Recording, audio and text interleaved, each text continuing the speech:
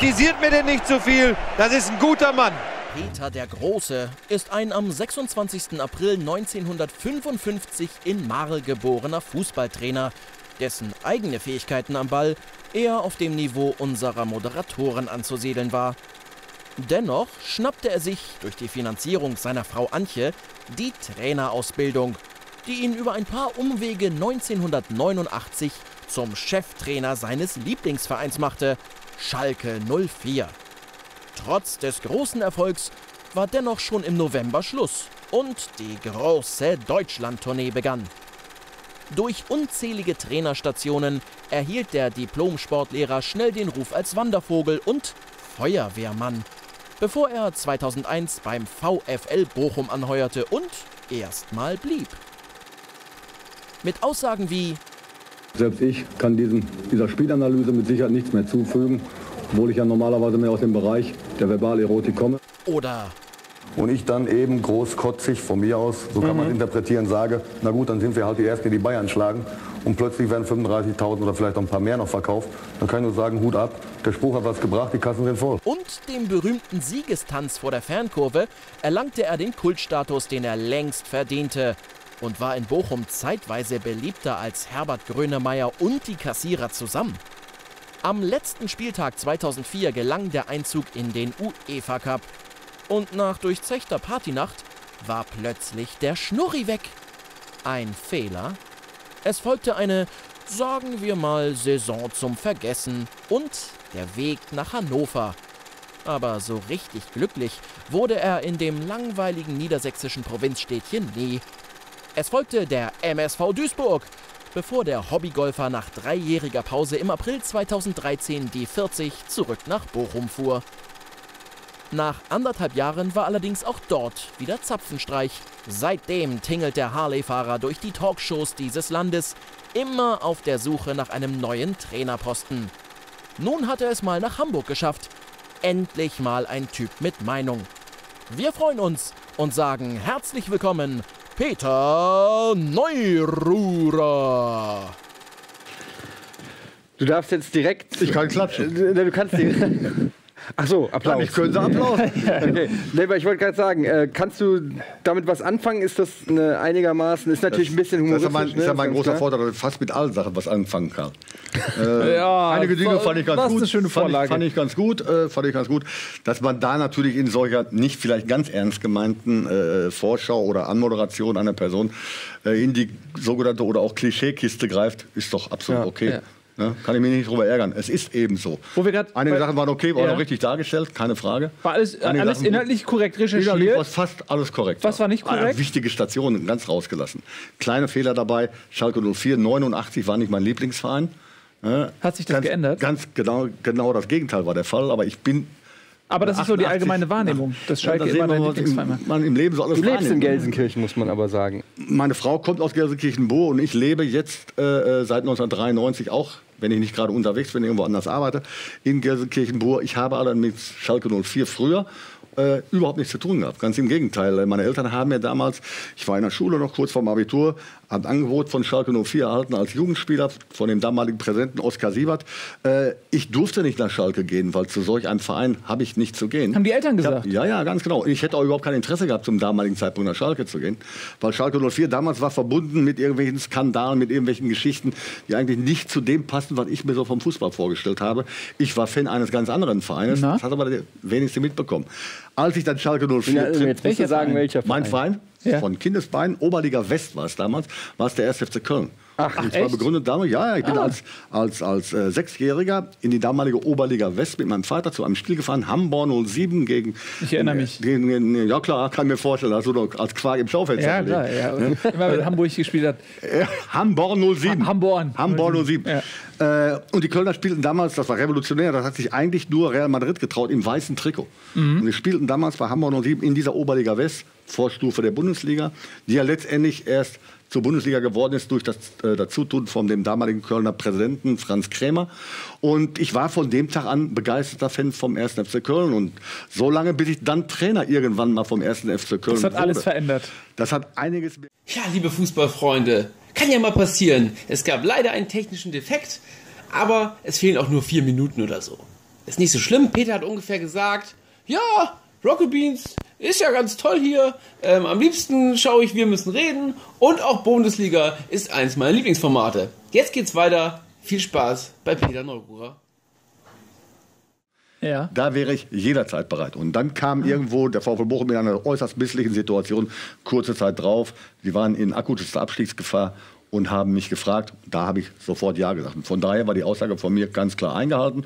Ich habe trotz der Widrigkeiten, die ich gerade in der Endphase beim VfL Bochum erlebt habe, so viel Spaß wieder an der Sache gewonnen, äh, dass ich jetzt sage, solange ich mich so fit fühle, wie im Augenblick ich mich fühlen darf, werde ich weitermachen. Solange die Spieler mich noch verstehen, ich die Spieler verstehe und das Gefühl hatte ich durch jedes Feedback immer wieder bekommen, äh, werde ich weitermachen, weil es mir eigentlich un einfach unglaublichen Spaß macht. Du bist ja unheimlich lange schon auch im Trainergeschäft. Hast du da, wo du es gerade ansprichst, so, solange du die Spieler verstehst, haben die Spieler sich verändert? Hast, ich habe jetzt gerade, tut mir leid, liebe Zuschauer, wenn ich immer aus Eintracht-Sphären zitiere, aber da kenne ich mich nun mal aus. Armin Pferd in einem Interview jetzt gesagt, dass ähm, weil bei der Eintracht kein Leader ist. Das wäre aber bei vielen Vereinen so, weil einfach die Spieler heutzutage nicht mehr so diese Leitwolf-Personalities, sage ich mal, haben wie früher.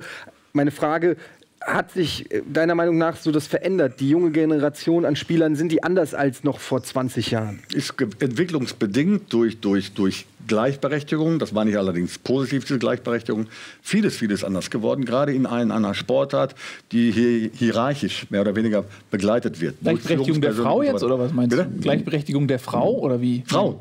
Nee, was meinst du mit Gleichberechtigung? Also gleichberechtigt. Also ich, Beispiel, ich komme ja. als Jugendlicher, als, als, als relativ ordentliches Talent in meinem Heimatverein äh, dazu, dass ich als Jugendlicher bereits in der ersten Mannschaft, hieß es damals in der ersten Mannschaft, mittrainieren darf. Ich komme zu diesem Training, erste Training, und äh, in die Kabine und sehe dann freien Haken und an diesem freien Haken hänge ich meine Sachen auf, ganz normal. Und, und äh, gehe dann nachher raus zum Training und nachdem ich dann wieder reingekommen bin, es war Winterszeit, damals noch auf Asche trainiert, die Klamotten haben ausgesehen, die man Körper, Körper hatte, zum Kotzen, finde meine Sachen nicht unter die Dusche gehüpft, ganz normal, das macht man ja, zieht blank, geht unter die Dusche, wie üblich der Fußballer das macht. Schaum kommt vorher auf den Kopf, beziehungsweise Shampoo, damit man nichts abgeben muss und so weiter. Und man, ich komme nach der Dusche raus, meine Sachen weg. Ja, wo waren meine Sachen? In der Nachbardusche. Ja, meine normalen Privatsachen in der Nachbardusche. Und das Wasser lief auch von oben auf diese Sachen. Also nicht anziehbar für mich. Darauf wird natürlich Riesentheater. Wie kann denn sowas sein? Und dann hat der älteste Spieler, damaliger Bundesligaspieler für Borussia Dortmund, für, für den VfL Bochum, für Reinhold Wosab, ein absolutes Vorbild, gesagt zu mir, mein junger Freund, übrigens, das ist mein Haken. Und da hängst du dich nicht nochmal dran.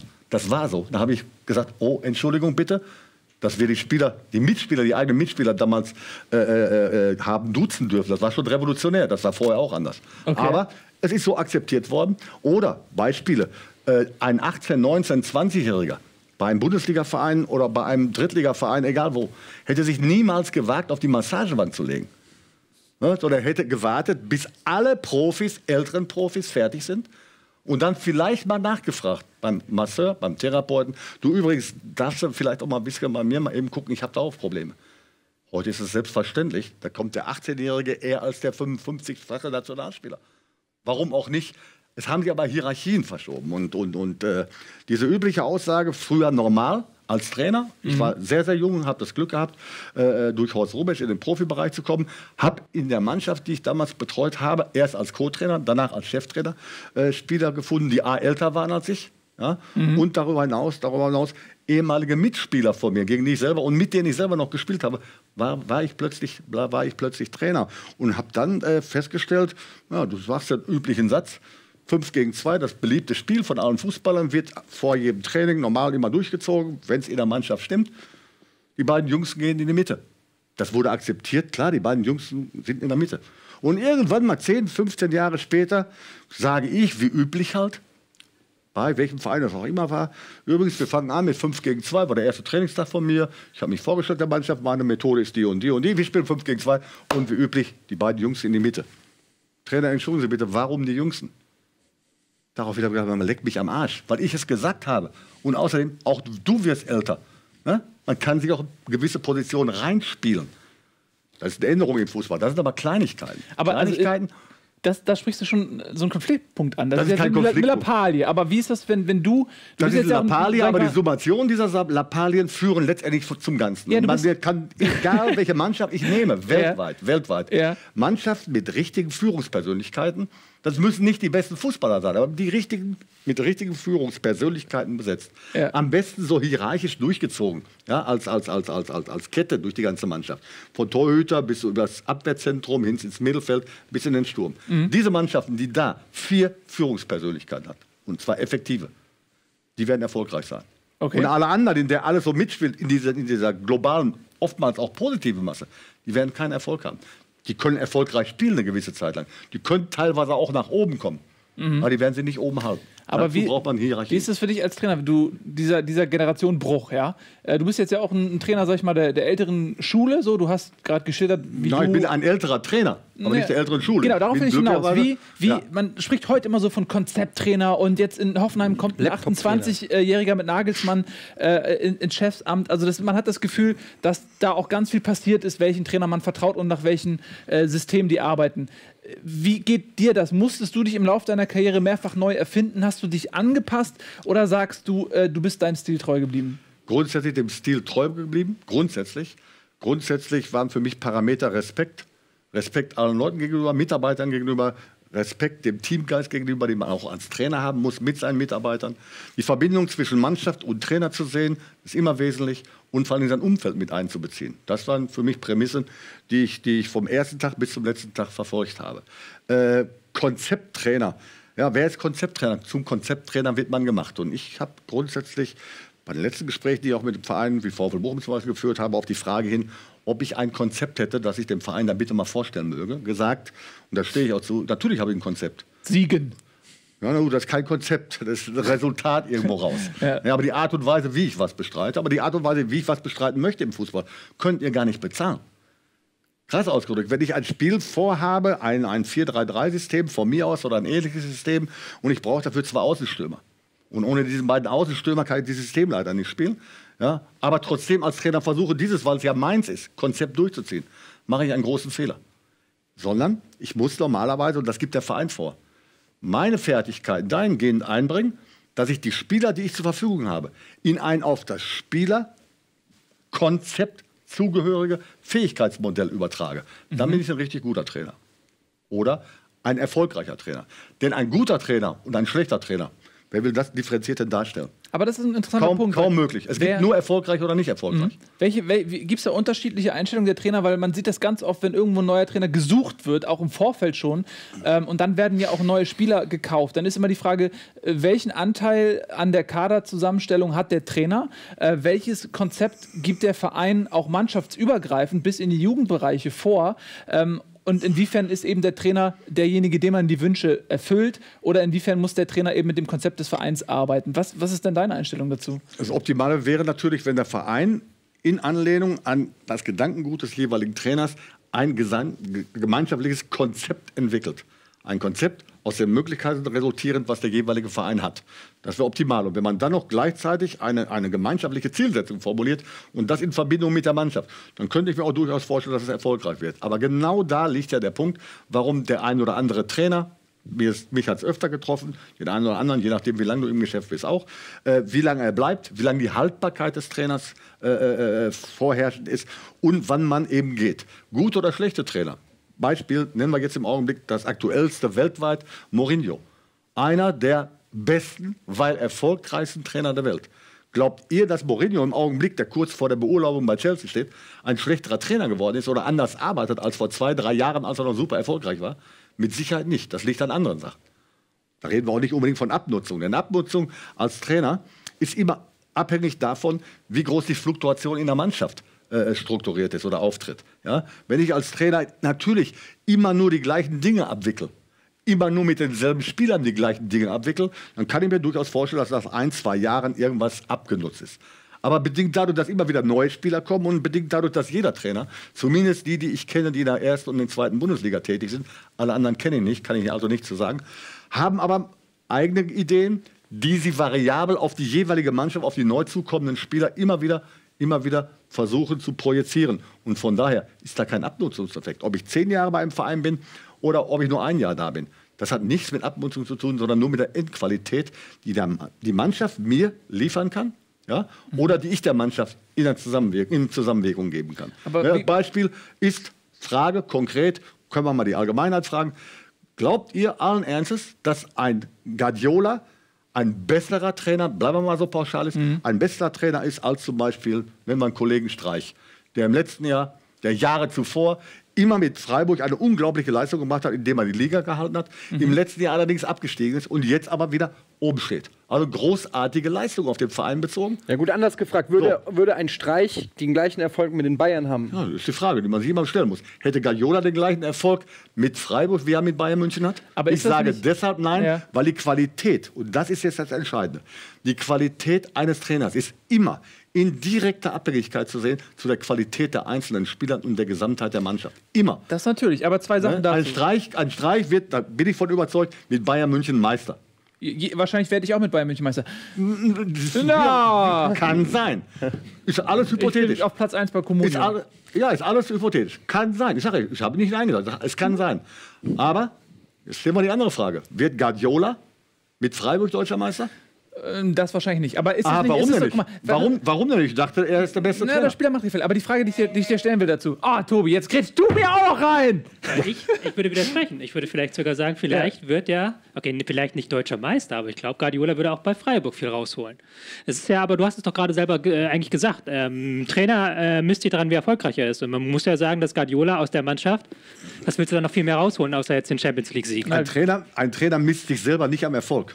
Ein Trainer wird am Erfolg bemessen von anderen Leuten, meistens von welchen, die nicht die große Ahnung von dem Geschäft haben. Ich glaube, ich glaube meint er persönlich, ich glaube persönlich, nein, nein, nein, um Gottes Willen. Ich glaube persönlich, dass Guardiola natürlich Bayern München fast zum Optimum bringt, zum Optimum gebracht hat, weil nur Erfolge zählen. Der letzte und der einzige Trainer Bayern München und das war Jupp Heynckes, nicht Guardiola. Das stimmt. Das spricht aber jetzt allerdings nicht gegen Guardiola. Es spricht aber auch nicht für irgendwen, wenn man da Vergleiche ziehen will. Aber kann man Und diese Vergleiche hinken immer. Aber Peter, kann man zumindest sagen, dass es manche Trainer gibt, die zu gewissen Vereinen besser passen? Genau. Also dass zum Beispiel ein, äh, ja, ein Guardiola zu einem, ich will jetzt nicht sagen, aber Schickimicki-Verein, aber zu, eine, zu so einem Verein wie Bayern eben besser passt als so ein, äh, ein eher pädagogischer Trainer wie, Pädagogisch. wie, wie, wie pädagogisch. ja, ist ja nach mir benannt worden. Päda heißt ja Pädagogik, ne? Päda- Päda- genau. Ja, ja, heißt ja nicht Etienne Gogik, Nee, heißt aber- Pädagogik. Nee, aber je- jemand wie der Streich, der dann in einem, in einem kleinen, ruhigen, beschaulichen Freiburg äh, arbeiten ganz kann. anderes Arbeiten, ganz genau. Also dass es eben nicht nur die, die, die, die Ahnung von Taktik und, Genau. und so weiter ist, sondern eben auch Richtig. Und Ganz ist genau. es nicht auch vielleicht, Ganz das ist, äh, ich wollte nämlich eine ähnliche Frage stellen. Ähm, das ist äh, so ein bisschen wie, wenn, wenn draußen regnet, ziehst du einen Regenmantel an und wenn die Sonne scheint, dann brauchst du das nicht so, dass es eben auch von den Spielern so ist. Pep Guardiola hat ein Standing. Der war ein Weltklasse-Spieler. Er ist äh, bei Barcelona zu einem Weltklasse-Trainer geworden. Und die Leute wissen, wenn ein Pep Pep Guardiola kommt, den kann ich gar nicht in Frage stellen. Der hat unter Beweis gestellt, dass er ein fantastischer Trainer ist. Ähm, da ist ein ganz anderes Vertrauensverhältnis da. Wenn jetzt zum Beispiel ein Streich nach Barcelona geht, der überhaupt, der als Spieler nicht ähm, das vorzuweisen hat, was ein Guardiola zum Beispiel vorzuweisen hat, der aber auch als Trainer nicht diesen Ruf hat, dass die Spieler vielleicht auch viel eher bereit sind, sag ich mal, die Autorität zu untergraben oder nicht zu befolgen, was er sagt. zu hinterfragen. Also mit Autorität, die muss er sich erwerben. Und auch Guardiola musste sich bei Barca erstmal diese Autorität äh, äh, erwerben. Durch, durch, durch Trainingsarbeit. Durch Aber er hat im Auftreten Verein selber. Standing. Er war hat bei beim La Verein- Masia und- Er hat beim Verein ein, ein, ein Standing gehabt, weil er da eben früher auch Spieler war, ein erfolgreicher, ein guter Spieler war, gar keine Frage. Von daher hat er ein wesentlich einfaches Entree, als zum Beispiel, bleiben wir bei diesem hypothetischen Fall, als wenn ein so Streich kommen würde, zu, zu losgelöst von irgendwelchen sprachlichen Problemen. Aber die hat der Pep ja auch bei Bayern München, die zählen ja nicht. Aber wenn Streich kommen würde zu, zu Barca, hätte er diesen Vorsprung nicht, den, den Pep mit Sicherheit Streich gegenüber in Bezug auf Barca hätte oder hat. Aber innerhalb der kürzesten Zeit würde jeder merken, der Spieler, losgelöst vom Ganzen, dass Streich ein hervorragender Trainer ist. Und er hätte, davon bin ich überzeugt, den, genau den gleichen Erfolg wie jeder andere auch. Wenn er gewisse Grundprinzipien der Trainingslehre und so weiter und so weiter beherrscht. Und da gehen wir mal von aus. Aber dennoch kommt es immer wieder äh, zur Situation, dass es irgendwann nicht mehr reicht. Äh, Reicht oftmals, dass es nicht passt. Was, und dann gibt es zum, zum Beispiel hier in Hamburg jetzt zuletzt bei, bei St. Pauli. Evalin hat übernommen, St. Pauli letzte Saison arg in, in Schwierigkeiten, der Abstieg drohte, Evalin übernimmt. Auf einmal ist man in der, äh, man hat nicht nur den, den Abstieg verhindert, man ist jetzt sogar äh, auf Aufstiegskurs. Ja, ist vielleicht auch eine Momentaufnahme, aber das Spielermaterial hat sich nicht groß verändert. Wie erklärst du dir dann so diskre solche großen Diskrepanzen mit dem ähnlichen Spielermaterial? Ganz einfach zu erklären, äh, die, die, die Spielerqualität selber äh, im Einzelnen hat sich nicht verändert, aber in der Gesamtheit hat Evalin geschafft, innerhalb der ganz, ganz kurzen Zeit, unter schweren Bedingungen, denn St. Pauli war in ganz großer Abstiegsgefahr, eine, eine Gemeinschaft äh, äh, auf den Platz zu schicken, die ein gemeinsames Ziel auf einfache Art und Weise, so war die Ansage des Spiels, äh, versucht hat umzusetzen, sind erfolgreich gewesen. Und mit diesem Erfolg erwächst natürlich eine gewisse Art von Selbstbewusstsein und, und, und ein Standing, was ich A selber habe, B, was aber auch der jeweilige Gegner in Bezug auf meine Mannschaft empfindet. Und er geht mich ganz anders an. St. Pauli wird im Augenblick anders bespielt als zum Beispiel Anfang des letzten Jahres, als St. Pauli sehr, sehr wenig Erfolg hatte. Das wiederum hat aber auch ein paar ganz klare Begründungen, die ich allerdings, wie auch, von außen nur geben kann.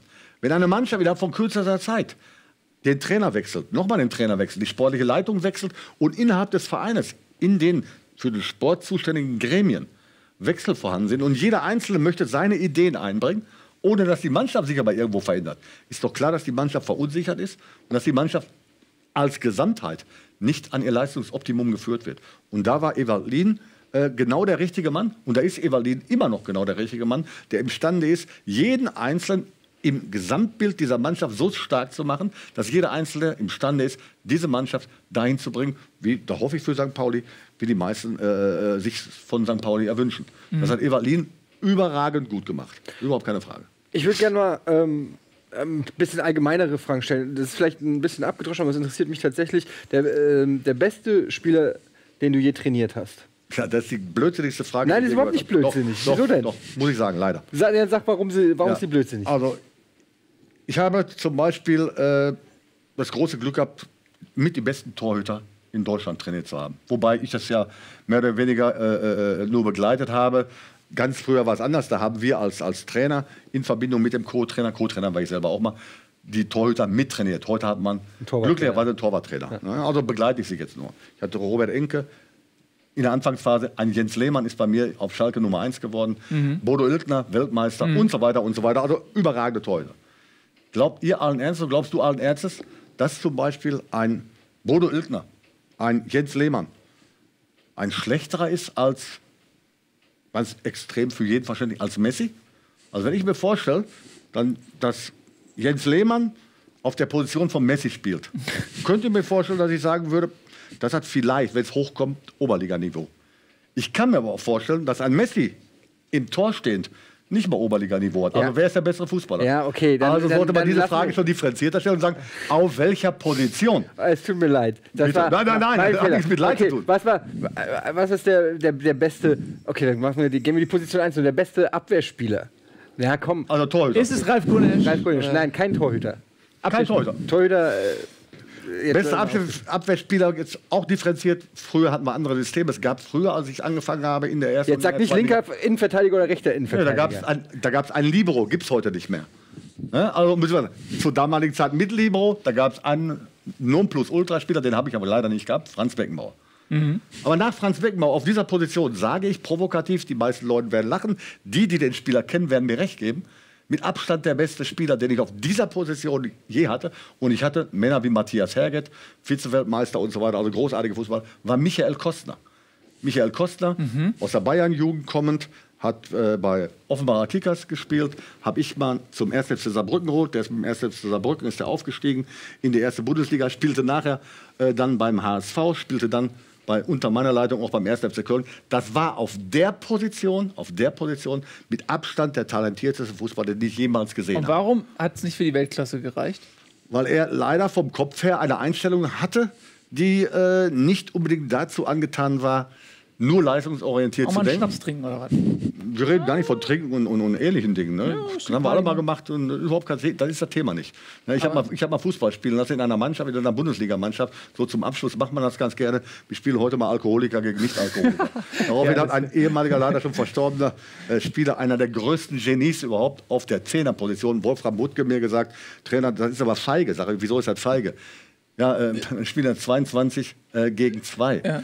24 Mann im Kader, hast du gut gerechnet, aber wie 22 Mann, die keinen Alkohol trinken, glaube ich nicht. Nee, ich meine genau andersrum. Ja. Daraufhin habe ich gesagt, ja, machen wir doch Raucher gegen Nichtraucher. Meinte, das geht gar nicht, wir rauchen alle. Ja. Also ist das. Äh, die das hätten vor allem auch keinen Trainer gehabt dann. Bitte? Die hätten keinen Trainer gehabt. Die hatten schon einen Trainer, doch. Nee, ich meine, wenn Raucher gegen Nichtraucher. Die hätten keinen Trainer gehabt. Ja. Nee, die hätten alle auf einer Seite gestanden. Nein, darum geht es nicht. Diese, diese, diese Dinge, äh, die gehören natürlich dazu. Und, und, und, Ernährungs, ernährungsbewusste Angelegenheiten sollte man nicht unter den Tisch kehren. Aber das sind Banalitäten.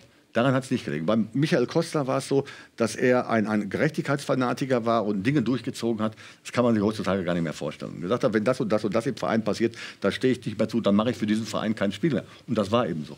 Und wenn er zur Nationalmannschaft eingeladen wurde, dann hat man ihm gesagt, pass mal auf, du musst das und das und das machen, das ist unser Ding. Hat der gesagt, nee, das mache ich im Verein aber anders. Hat mein Trainer mir anders gesagt, dann mache ich das also Dann- nicht. dann- Also der, er war, er hat sich selbst im Weg Dann gestanden. stell, ich vom stelle meine, ich frage, stell meine Frage nochmal anders. Wenn du jetzt, du, angenommen, ich fiktiv, fiktiv, fiktives Szenario, du, fäng, du gehst nochmal zum VfL Bochum. VfL Bochum sagt, wir haben hier, äh, wir, haben, wir haben im Lotto gewonnen, wir haben genug Kohle. Du darfst, ein, du darfst jetzt einen Spieler, Ein aus der, Spieler. du darfst jetzt einen Spieler aus der Bundesliga darfst jetzt verpflichten für den VfL Bochum. Für jede Position. Für, für jede, genau, jede für Position. jede Position darfst du einen Spieler, äh, so. Aber also nicht, nicht, Und jetzt nicht- und nicht links, elf rechts. Torhüter. Nee, nee, also nicht, nicht vier in der Abwehr, sondern ein, ein Torhüter, ein Abwehrspieler, so. ein Mittelfeldspieler. Ein Torhüter, ein Abwehrspieler, ein Mittelfeldspieler, Aus der ein Bundesliga. Stürmer. Äh, ja, Ja, von mir aus auch ja, aus der Bundesliga. aus der Bundesliga. Wunschkonzert, wäre gut. Hätte ich für den Sturm Lewandowski? Ja, gut, vielleicht hätten wir Bayern ausklammern sollen. Nein, jetzt lass Ja, mal. so alles aus? Jetzt Die Bundesliga ausklammern, können wir nachher alle Ja, ausklammern. okay, nein, nein, jetzt- also spiele ich wieder selber. Das geht ja auch nicht. Nein. Also Lewandowski für den Sturm. Äh, aktuelle Spieler. Ja, Ja. Ähm, dann nehmen wir. Ah, nee, das ist ja nicht Real Madrid. ja. Toni Kroos. Ja, nehmen wir, komm. Lass mal, man lass, Ist lass ja- mal ist ja ein Toni guter- für, guter für, fürs Mittelfeld, okay. Und äh, Boateng für den Abwehrbereich. Und die- Torhüter soll ja bleiben. Mo- Ja, ist neuer, ne? Ralf in der Ecke. Ja, super enttäuscht. Ja, Ralf Gullit spielt im Augenblick leider nicht mehr. Wir sollen nur Spieler nehmen, die im Augenblick noch spielen. Ralf Gullit Aber wenn ist du noch im Zweitligabereich derjenige gewesen, den ich fast bei jedem Verein, den ich in der zweiten Liga hatte, immer sofort nehmen würde. Ich auch. Es sei denn, es sei denn, es kommt ganz klar der Punkt dazu, ich hätte, die, ich hätte den Zwang, nein, ich bin doch noch nicht fertig, Ralf. Ich bin doch noch nicht fertig. Es sei denn, ich hätte den Zwang, die Auflage des Vereins, wir dürfen keine Spieler vom gewissen Alter an. Nee, sowas gibt's nicht. gibt's doch. Es geht nur um Ja, ja, Qualität. Ja ist lange Nein, aber wenn ich, wenn ich, zum, wenn ich zum Beispiel, Ja. wenn ich zum Beispiel jetzt irgendeinen Verein hätte, der die Probleme hätte, äh, äh, zum Beispiel Führungsspieler nicht vorhanden zu haben und in einer Extremsituation ist. Entweder muss ich aufsteigen und die gleiche Extreme, möglicherweise noch schlimmere Extreme ist ja die, ich steige möglicherweise ab. Dann würde ich Spieler wie Ralf Gunes sofort verpflichten. Auf den ist immer Verlass. So ist es. Bevor wir davon abkommen, wir driften so schnell. Ich fand, ich fand das mich cool. Wir haben jetzt die vier aktuell einen Spieler und jetzt äh, in einem 4 gegen 4 Trainingsspiel 4 gegen 4 die vier besten aus der Vergangenheit. Ja, Das finde ich nämlich auch immer da spannend. ja ein- nein, ja einfach. nein, aber jetzt sowas wie, wie Kostner, das fand ich super spannend, weil das sind Spieler, die hat man nicht auf dem Schirm. Okay, dass Beckenbauer eine Legende ist, darauf können wir uns einigen. Aber einen Kostner hätte ich zum Beispiel nicht auf dem Radar gehabt. Also Leute dieser Couleur hätte ich gern. Ja. Ja. Also auch ehemalige Spieler. Ja, wenn Wenn wir, Größe, so- wir brauchen dann über größten Spieler aller Zeiten im Sturmzentrum zum Beispiel war Gerd Müller. Den wird es nie wieder geben. Nie wieder geben. Was macht- dann macht einer Gerd Müller? dahinter würde ich immer Pelé nehmen, Ja. war leichter zu führen als Maradona. Die sind aber fußballerisch fast auf gleicher Ebene und haben Okay. auch ähnliche Positionen gespielt. Ja, und dann ist eben der vierte Mann, wäre eben ein, ein für mich ganz klar eben Franz Beckenbauer. Krass. Was hat ein Gerd Müller zum Beispiel? Das sind so, was ich immer so spannend finde, ist, äh, jede Generation hat ihre Helden. Und äh, ich bin Gerd. Müller ist äh, äh, über alle Generationen hinweg hin der größte Stürmer aller Zeiten. Aber warum? Weil er eine Quote hat, wir haben davon über von Erfolg gesprochen. Wenn ich in, in, in, in 62 Länderspielen 68 Tore mache, dann sagt das eine ganze Menge aus. Aber immer noch nicht äh, zu seiner Fähigkeit, wenn ich mit den Fähigkeiten der Stürmer äh, aus, aus heutiger Zeit ihn vergleiche. Denn, Ja. Beispiel, heute spielen unsere Nationalmannschaft, das soll jetzt nicht despektierlich äh, dargestellt werden, nicht gegen die UdSSR, sondern sie spielen gegen Aserbaidschan, gegen den und den und den, gegen mehrere Staaten, die mittlerweile kleine Staaten sind und nicht mehr die große UdSSR. Noch einfacher das Beispiel.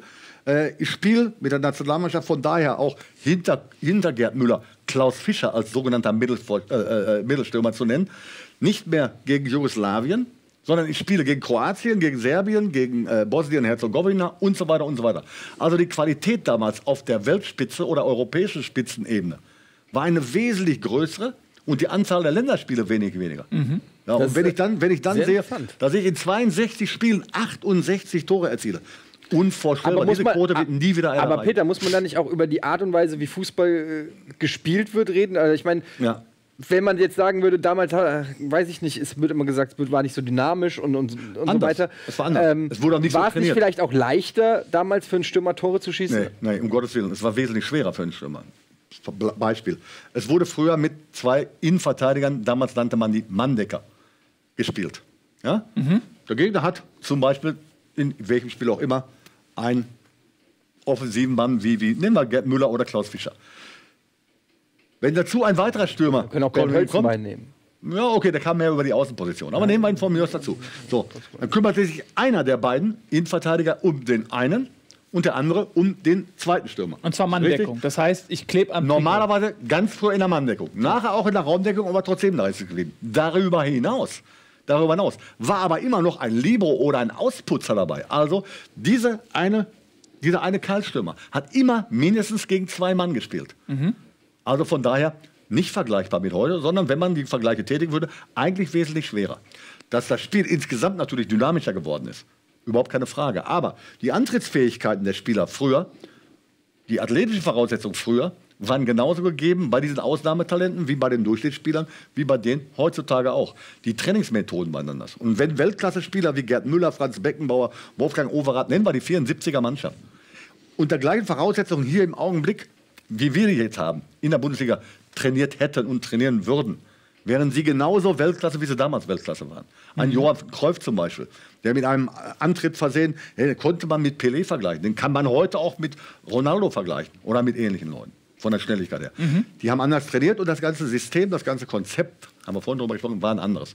Aber diese Spieler mit dieser außergewöhnlichen Fähigkeit wären heute genauso außergewöhnlich, wie sie damals waren. Sie wurden nur anders bezahlt. Nämlich schlechter. Ja.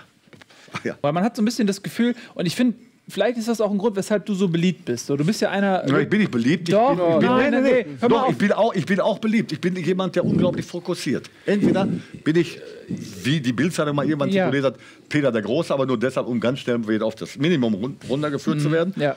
Entweder geliebt oder eben total abgelernt. Okay. Dazwischen gibt es nicht. Also Neurohrer, ich weiß ja nicht richtig einzuschätzen, dazwischen Aber guck mal, das ist deine Wahrnehmung. Ich habe meine eigene Wahrnehmung. In meiner Wahrnehmung bist du, bist du einer der beliebtesten äh, Fußballpersönlichkeiten. Da hab ich ja Glück gehabt. Weil ich glaube, du stehst für, für den ehrlichen Fußball, für den, sag ich mal, handgemachten Fußball, weil auch, auch Eddie und ich, wir, wir äh, kommen aus einer, aus einer Zeit, wo der Fußball noch nicht so kommerzialisiert war. Wir sind auch aufgewachsen dann in den 80ern, äh, 90ern.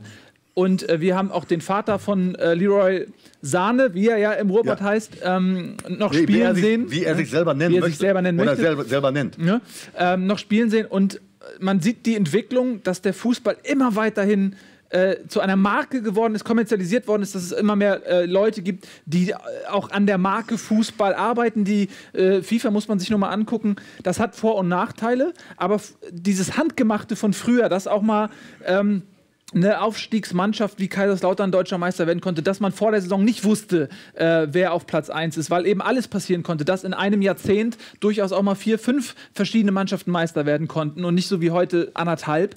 Ähm, und du bist eben auch, finde ich, noch Teil dieses Fußballs, dieses ehrlichen, hausgemachten Fußballs, wo es nicht nur um Bestechungsgelder geht und um, um irgendwelche WM-Vergaben nach Katar. Da würde ich gerne mal einhaken. Ja. Weil ich habe dazu. Aber, wenn, ja. aber wenn ich mal ganz kurz das war ja nur eine Lobhudelei Äh, jetzt. Also. Ja, ja, war auch nett gemeint, wunderbar. Das ist auch nett. Also sich es war auch geändert im ehrlich. Fußball. Die, die, die, ja, klar, okay.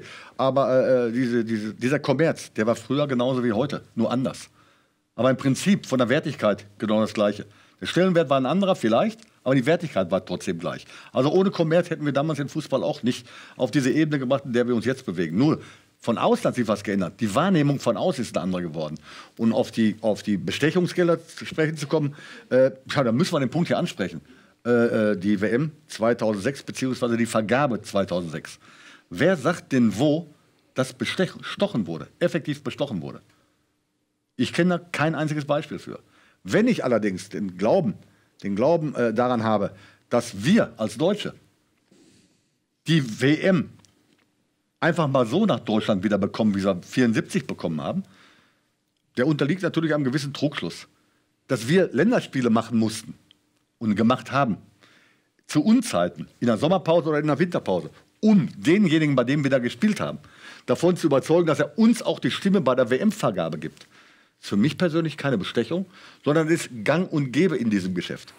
Wenn ich zum Beispiel sage, möglicherweise, jetzt formuliere ich nur ein Ding im hypothetischen Rahmen, ich spreche mit Warner, dass er korrupt ist, brauchen wir nicht darüber zu reden, er ist ja selbst von der FIFA, das heißt schon eine ganze Menge, er ist äh, von der FIFA schon äh, diskreditiert worden, berechtigterweise. Wenn ich ihm sage, du, uns fehlt vielleicht noch eine Stimme, ne, um die WM nach Deutschland zu bekommen. Und wenn Trinidad äh, Tobago es schaffen sollte, sich für unser Turnier in Deutschland zu qualifizieren, dann ist es doch wohl selbstverständlich, dass Dreifuß, dass Adidas Ja. euch dabei hilft, eine Ausrüstung gibt. Ist das Bestechung? Ich sage nein. Naja.